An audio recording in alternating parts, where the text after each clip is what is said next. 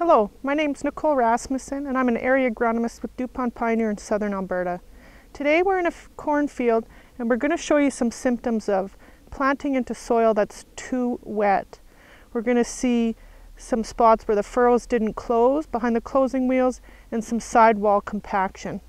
As you can see, this is in the ground two inches deep, the target depth that grower was trying to achieve.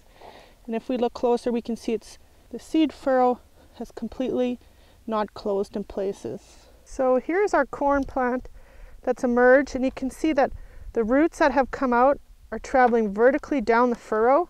The sidewalls here are smooth and very hard packed. So unless moisture conditions improve and the soil is somehow able to soften up, chances are that the root development of this corn seedling would be severely hampered.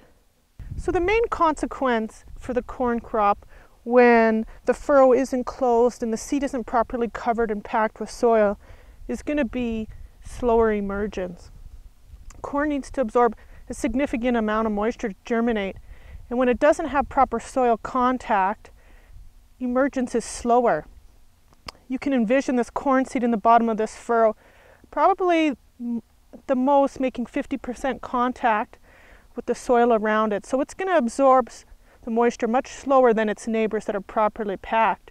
So if we come back here in a few weeks, we'll probably see that where the furrow is open, the corn plants will have emerged slower.